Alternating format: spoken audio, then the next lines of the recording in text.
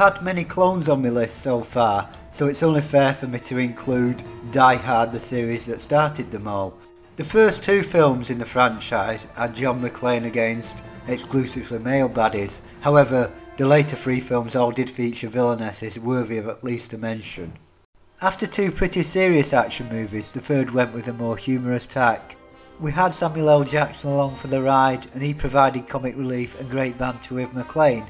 Plus, the cops are actually intelligent in this one, although unfortunately for them, the main villain is even smarter, and that would be Jeremy Irons playing Simon Gruber. And while the film appears to be about revenge at first, like almost all Die Hard villain plots, it's ultimately about a heist, in this case the theft of gold bullion from the Federal Reserve Bank of New York. And the villainess Katya is a mute who gets quite a brutal introduction, and that comes after she and the rest of the crew have drilled their way into the bank vault.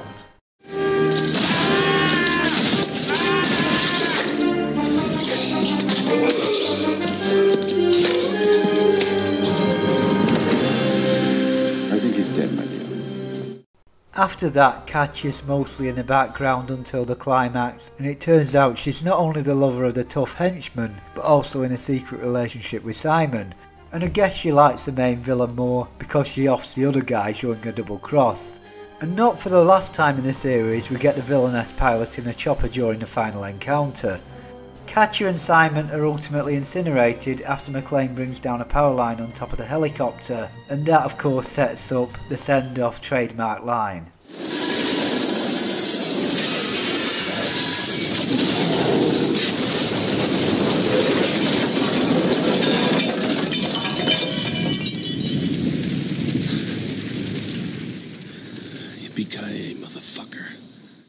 The fifth and so far final Die Hard film has the shortest runtime at about 95 minutes, which could be considered merciful because it all feels very tired and pedestrian by this point.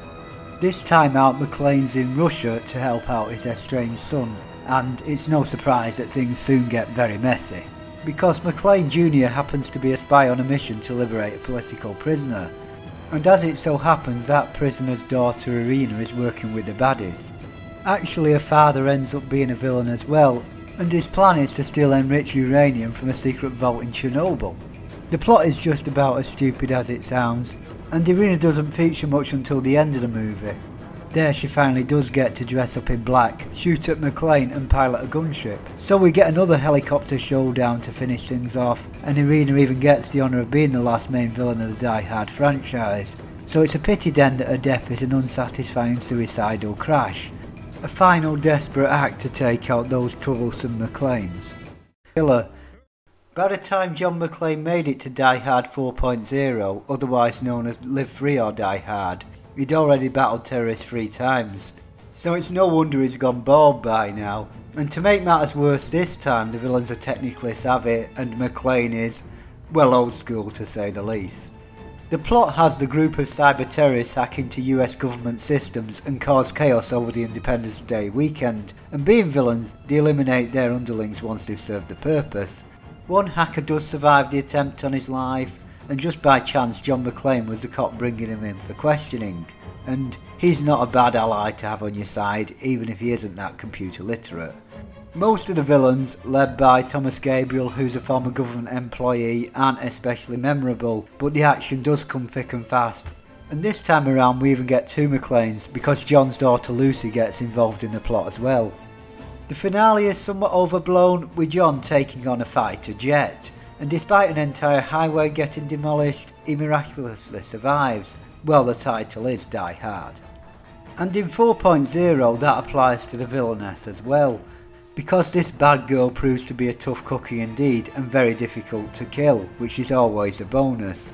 And despite her getting seen off about 60% of the way through the movie, the Asian hacker stroke martial arts expert called Mai Linh gets to kick John's ass beforehand. The only indications aren't all that promising. We have Mai wearing headphones doing hacker stuff and issuing orders via a microphone. But after sitting on the sidelines for the first half hour or so, Gabriel finally sends Mai to lead an assault on a utility control station. Ma'am, you're not authorized to be here. FBI, suspect there's been a security breach. here without authorization. And here we get the villainess demonstrating the martial arts skills, which you know is a sign of things to come. And not long after that raid, McClane and his hacker sidekick show up to investigate. John has no trouble eliminating Mai's Mook, but the boss lady soon turns the tables on him and gives him a real fight.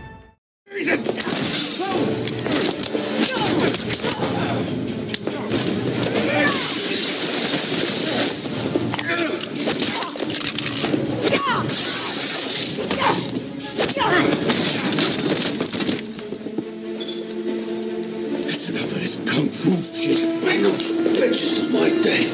But you, I'll make it.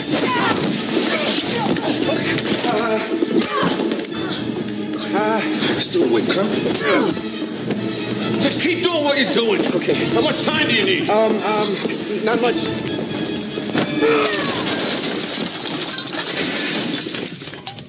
Perhaps McClane should have killed her there and then, because Mai soon recovers and comes back for more. Not the easiest thing to do when.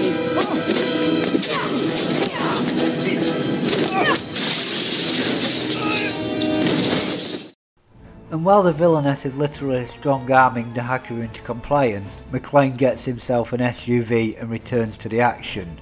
And even that doesn't stop this woman. How you doing?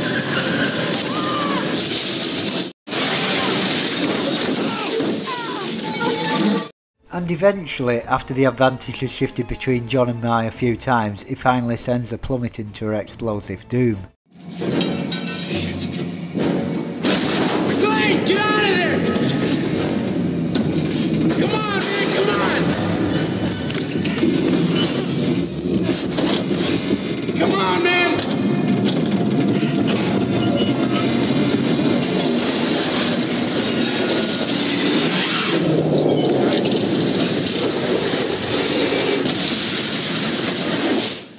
Despite relatively early exit, Mai gets one of the longer and better henchwoman fights on my list, and that's enough to elevate her into the middle tier.